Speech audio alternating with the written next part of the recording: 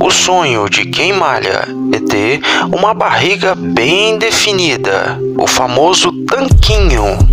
Mas para algumas pessoas isso só vai ficar no sonho mesmo. Para quem malha ou já malhou, sabe o quanto que é difícil trincar o abdômen.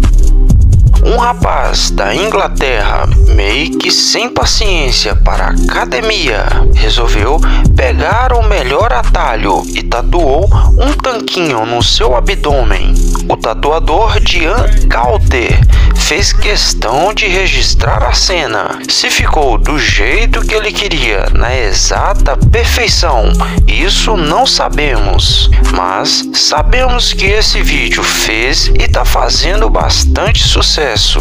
Essa notícia começou a circular no Brasil em maio de 2022 e até hoje o vídeo está sendo bastante compartilhado. Talvez devido ao caso do Daniel Alves e a tatuagem.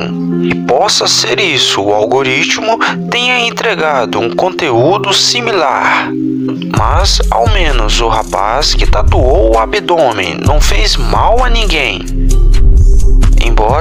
Pareça fácil tatuar um tanquinho no abdômen, esse trabalho demorou dois dias para ser finalizado. Dois dias que pagaram séculos de academia.